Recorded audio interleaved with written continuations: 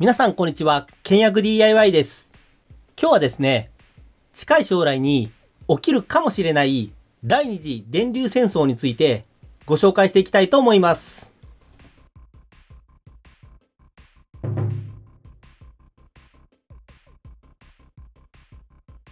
皆さん、昔、電流戦争っていうのがあったのはご存知でしょうか ?1880 年代のアメリカにおいて、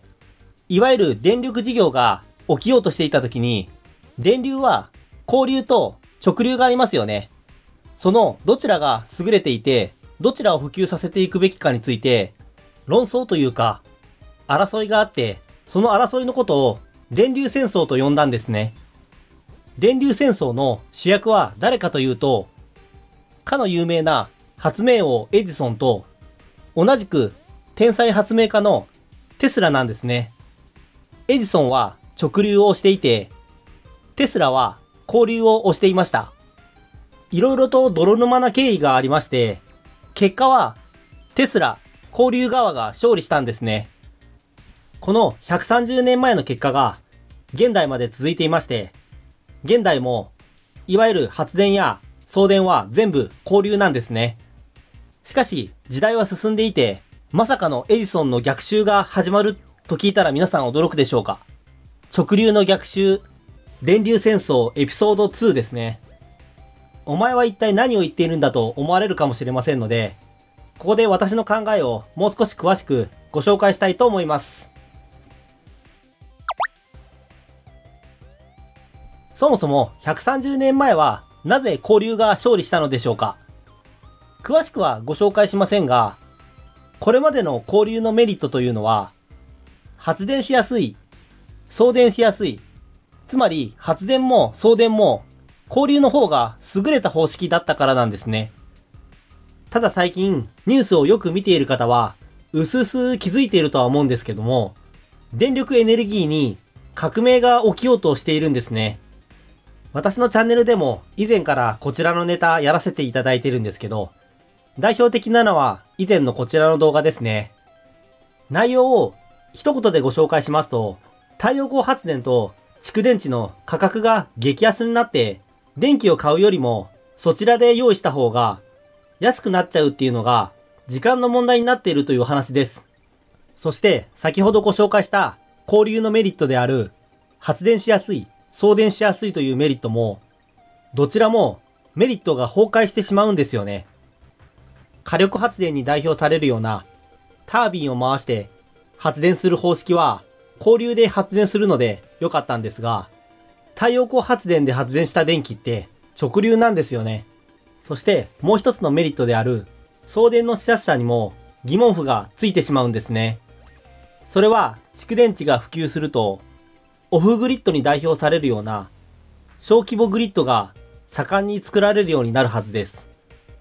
つまり、そもそも送電すること自体が少なくなってしまうんですね。さらに、リチウムイオン電池でおなじみだとは思うんですけど、蓄電池って完全に直流ですよね。交流の電池はこの世に一つも存在していません。蓄電池に充電しようと思ったら、必然的に直流にしなければいけないんですね。その点も交流はめちゃくちゃ不利です。まとめると、これまでの交流のメリットであった発電しやすい、送電しやすいというメリットが両方とも前提から崩れていってしまうんです。じゃあもう直流でいいじゃんという話は当然出てくると思うんですよね。発電、蓄電の方では直流の方にメリットが移りつつあるという話をしました。ここからは、じゃあ使用側はどうなのという話をしたいと思います。結論から言いますと、ほとんどの電気機器は直流で動きます。これからの EV をはじめ、掃除機、洗濯機、エアコンなどのモーター系の電気製品は、基本的には全部直流のインバータ駆動になりますね。テレビだったり、パソコンやスマホといった電子機器なんかは完全に直流ですね。AC アダプターを使っているような製品も全部直流ですし、LED 照明をはじめとする照明類も基本的には直流ですね。また、ヒーターとか温める電熱系の用途でも全部直流で動きます。なんだほとんど直流じゃねえか。このように使用機器側で考えても、まあ直流で全く問題ないわけですね。現状よくあるのが、太陽光発電で発電した直流を交流の 100V に変換して、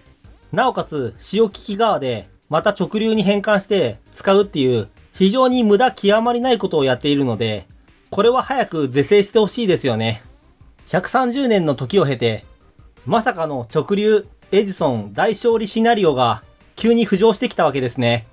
ここからは私の倹約 DIY に少し落とし込んで考えてみたいと思います。太陽光発電と蓄電池でオフグリッドをやるっていうのは、倹約 DIY の大きな目標の一つですが、それ以外にも今後出てくる可能性としては、家自体を直流で配電するというアイデアがありますね。イメージとしては、コンセントのところに USB 電源がついてるみたいなイメージですね。まあ 5V ってことはないと思うんですが、もうちょっと高い電圧で、コンセントみたいに挿しただけで、直流電源が取れるというものです。もちろん1種類の電圧では対応できない場合もあると思いますので、DC-DC コンバーターがセットになるとは思うんですが、以前こちらの動画でご紹介したように、DC-DC コンバーターって今めちゃくちゃ効率が高くなっているんですよね。95%以上とかザラにありますので、変換効率を考えても明らかに DC-DC コンバーターを使った方が有利だと思います。今の交流でも2本線がありますので、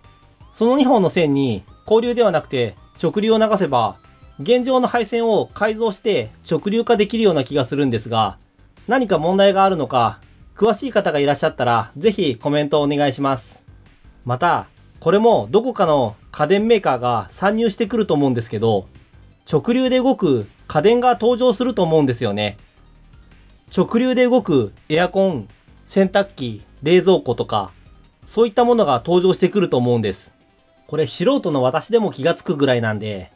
家電メーカーの中の人絶対気がついてると思うんですよね。これめちゃくちゃ金の匂いがすると思いませんか？いや、お前がその製品欲しいだけだろうと言われたら、そうなんですけど、でも私みたいに考えてる人多分結構たくさんいると思うんで、結構売れると思うんですよね。というわけで家電メーカーの方がいらっしゃったら、ぜひ、直流用の家電製品の発売をお願いいたします。いかがだったでしょうか？今日は、これまで常識だった交流が、もしかしたら直流になるかもしれないというお話をしました。もちろん今日の話は、私個人のただの考察ですので、全くこの通りにはならないかもしれませんが、個人的には結構面白い話だと思っています。基本的には、バッテリーにしろ、ブラシレス DC モーターにしろ、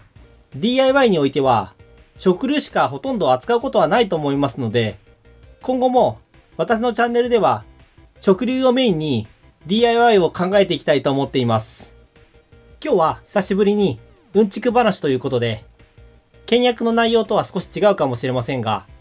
私の中では今回の話も一本の線で繋がっています。今日の話が参考になったよという方は、ぜひ高評価の方をお願いいたします。また、私のチャンネルでは、いろいろな倹約な情報をお伝えしていきたいと思っていますので、そういったことに興味がある方は、ぜひチャンネル登録の方もお願いいたします。それでは今日も最後までご視聴いただきありがとうございました。それでは皆さん、さよなら